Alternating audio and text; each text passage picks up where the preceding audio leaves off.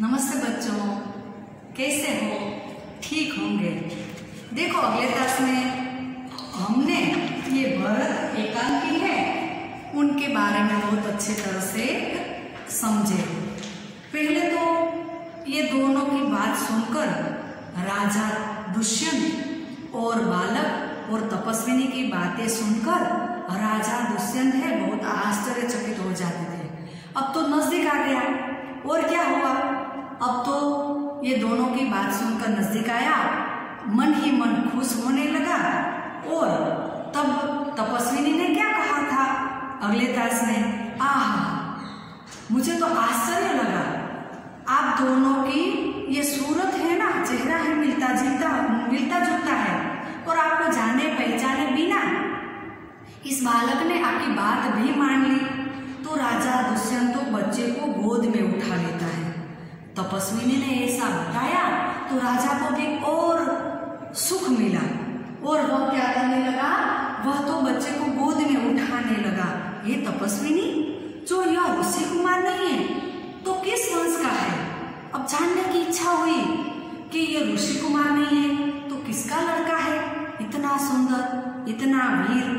दूसरी तपस्विनी बोली, यह पूर्ववंशी है, यह पूर्ववंशी है। दुष्यंत स्वयं मन में ही मन में सोचने लगा कि मैं भी पूर्ववंशी हूँ। तो इसलिए इसकी सूरत मुझसे मिलती है। राजा भी पूर्ववंशी थे, इसलिए वह मन में ही मन में सोचने लगा कि इसलिए इनकी सूरत मुझसे मिलती जुलती है। बच्चे को गोद से उतार देता है।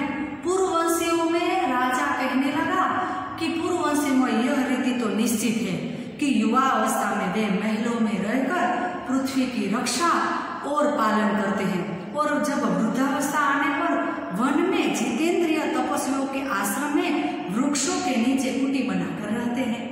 देवता जैसी शक्ति वाला यह निडर और असाधारण बालक मनुष्य का पुत्र भला किस प्रकार होगा? वह सोचने लगा हाँ कोई वीर पुरुष है। देखो, राजाओं की यह नीति रीति है जब उनका मन करता है तब राजमहल में रहता है स्वतंत्र हो जाता है बच्चे बड़े हो जाते हैं तो वह वन में आकर तप करने लगते हैं। या तो उनकी जितेंद्रिय शरीर को ऐसे ही छोड़ने के लिए, मज़बूत बनाने के लिए वह ऐसे वन में आ जाते हैं, इंद्रिय वृद्धावस्था आने के बाद। ऐसी बात राजा दूसरी तपस्विनी को बताने लगा। अब दूसरी तपस्विनी बोली, क्या बोली, हे परदेसी तेरा यह संदेह तब मिट जाएगा कि जब तू जान लेगा ना कि इस बालक की मेनका नामक एक अप्सरा की बेटी है। उसी के प्रताप से इसका जन्म देव पितर से इस तपोवन में हुआ है।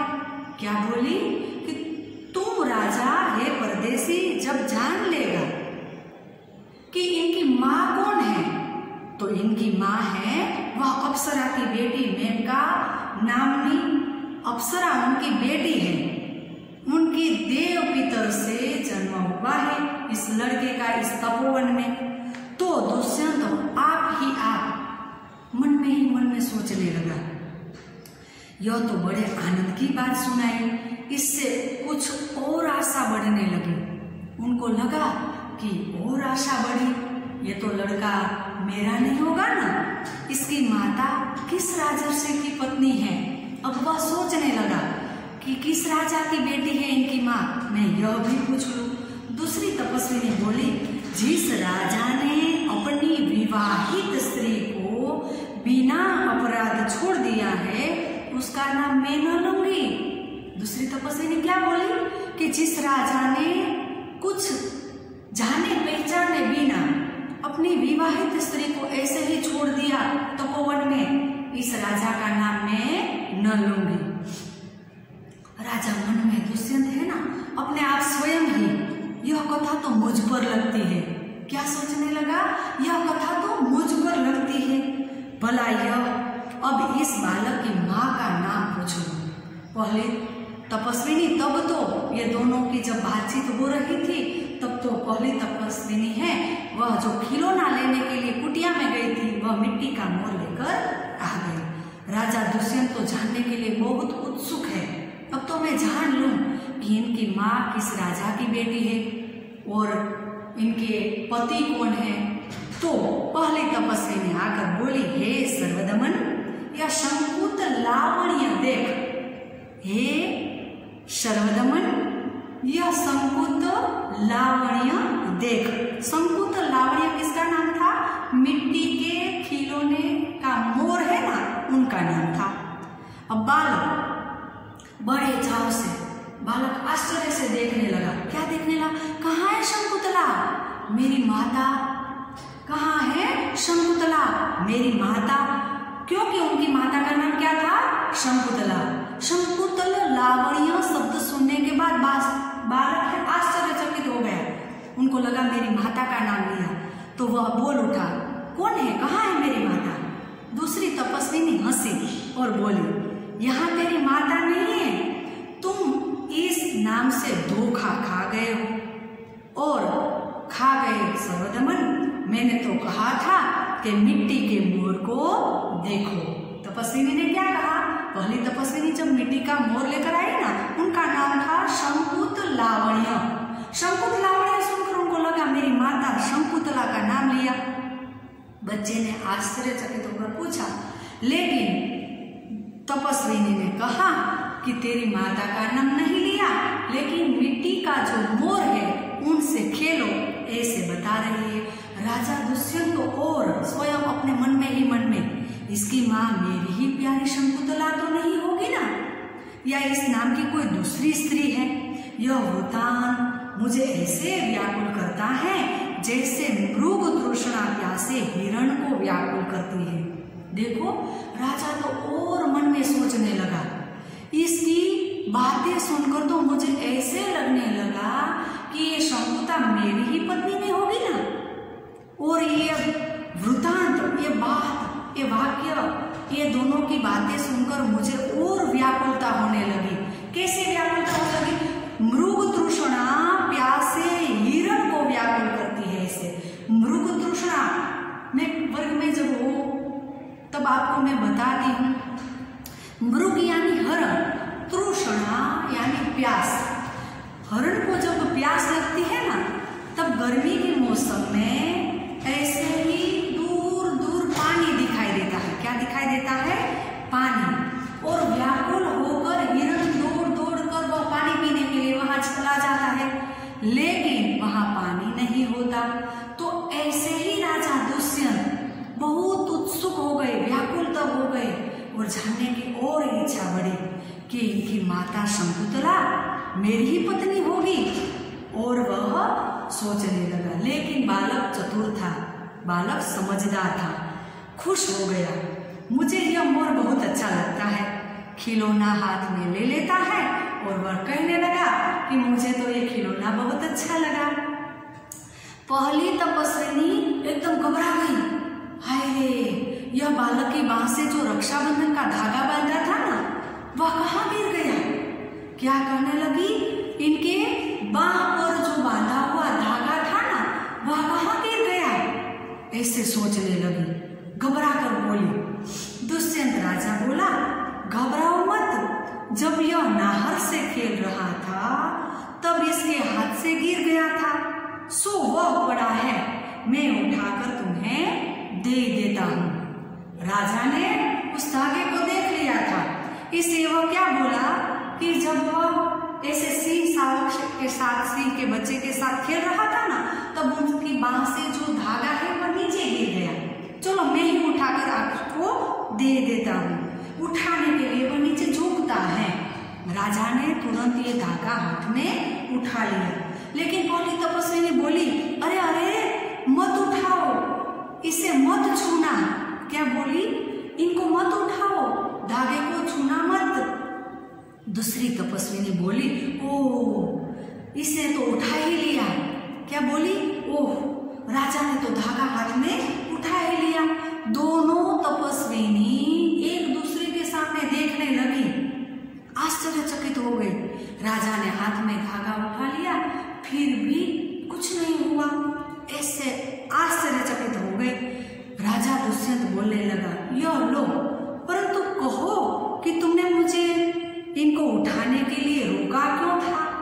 बोला कि आपने मुझे धागा उठाने के लिए क्यों मना किया? क्या कोई कारण है? कोई ऐसी बात है? मैंने धागा तो उठा लिया। क्यों आपने मना की तो दूसरी तपस्विनी बोली कि इस रक्षाबंधन का नाम अपराजित है। क्या है? अपराजित। जिस समय इस बालक का नामकरण हुआ था, तब महात्मा मरीजी के पुत्र कश्यप ने यह धागा दिया था। किसने दिया था?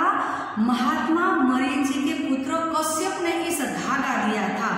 और इसका गुण है कि कभी यह धरती पर गिर पड़े तो इस बालक के माता और पिता दोनों को छोड़कर इसे कोई दूसरा न उठा सकेंगे। इस दाल, इस धागे का एक महत्व था कि जो नीचे गिर जाएगा ना तो उनकी माता उठाएगी या तो उनके पिता उठाएँगे? दोनों में से कोई एक उठाएगा, तब भी यह धागा रहेगा। इनका किसने दिया था? महात्मा मरीचि के पुत्र कश्यप ने इनके बांह से बाँध दिया था। तो राजा दुष्यंत तो और उत्सुक हो गए और अंदर से अंदर खुश होने लगा। और जो कोई उठा ले तो क्या होगा? राजा के मन में प्रश्न हुआ कि मैंने तो धागा उठाया। कुछ हुआ भी नहीं। अरे, कोई उठाएगा तो क्या होगा ऐसा प्रश्न उसने पूछ लिया।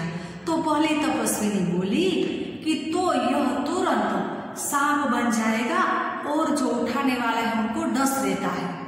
क्या हो जाएगा? ये धागा है, सांप बन जाएगा और सामने वाले को डस देता है। दुष्यंत ने कहा, तुमने कभी ऐसे होते हुए देखा है? क्या कोई बार ऐसा हुआ? कि धागा नीचे गिर गया, किसी ने उठा लिया।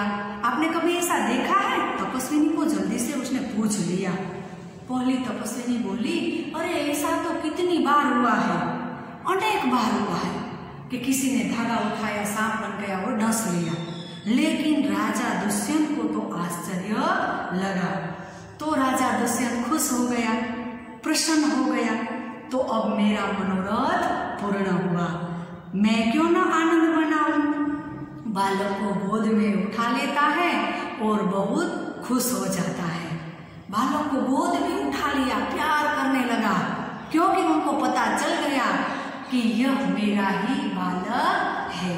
ये दोनों तपस्विनी की बातें सुनकर राजा दुष्यंत को पता चल गया कि यह मेरा ही बच्चा है ऐसे ही खुश होकर राजा प्रसन्न हो जाता है और भरत को, उस बालक को जितना व्याकुलता से देखता है, ऐसे ही व्याकुलता से उसने अपने ही बच्चे को गोद में उठा लिया और बहुत प्यार करने लगा। अब तब क्या हो जाता है ये एकांकी ये नाटक है, वह पूर्ण हो जाता है और पर्दा गिर जाता है। बहुत अच्छी कहानी राजा लक्ष्मण सिंह ने लिखी। दोनों तपस्विनियों की बातें सुनकर राजा दुष्यंत को अपना पुत्र मिल जाता है। तो भरत जैसा जो बालक हो, बहादुर बालक हो तो कभी कोई बात से डरना नहीं चाहिए। ये इकाई में से हमें बहुत सीख मिलती है कि छोटा बालक सिंह सावक के दांत गिनता है तो हमें कोई भी परिस्थिति हो तब डरना नहीं चाहिए। सोच समझकर हमें उन डर को दूर भगा देना चाहिए। कैसे कैसे हम कहानी सुनते हैं, तभी भी हमें अच्छा लगता है।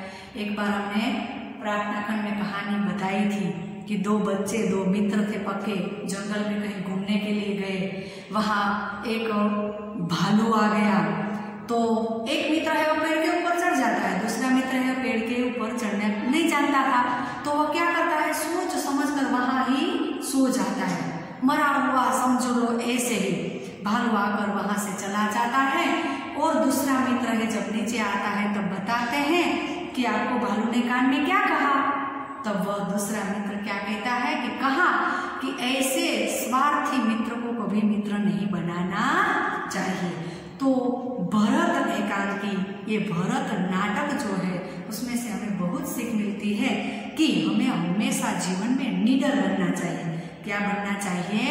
निडर।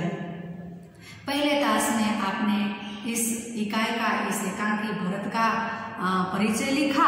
अब एच डब्ल्यू में होमवर्क में पाठ छ के भरत पाठ का शब्दार्थ है, वह आपकी कापी में लिख लेना। मैंने इधर मुहावरे भी लिखे हैं। उसमें क्या है कि बात पर कान नहीं धरना तो अनसुना करना।